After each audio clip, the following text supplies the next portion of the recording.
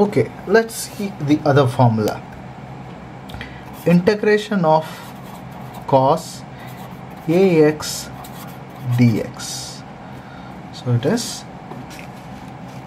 integration of cos ax dx is equal to integration of cos ax is sine ax by a plus c the constant c. So integration of cos ax dx is sine ax by a plus c.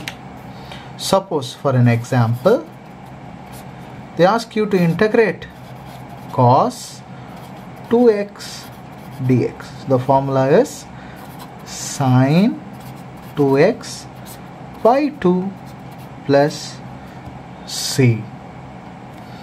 Integrate cos nx dx